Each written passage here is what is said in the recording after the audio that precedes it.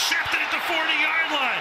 That is Janoris Jenkins, and he will get into the end zone for a Giants touchdown. In the half. Meanwhile, Siemian is being looked at. Working, uh, you see the hand up under the left shoulder. Backup quarterback is Brock Osweiler. Could be as he was making the tackle, hits the ground. And in the meantime, as they were working on him on the bench,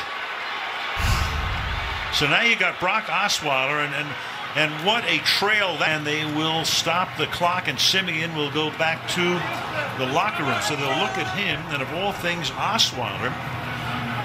They tried to sign Osweiler. Questionable with that left shoulder.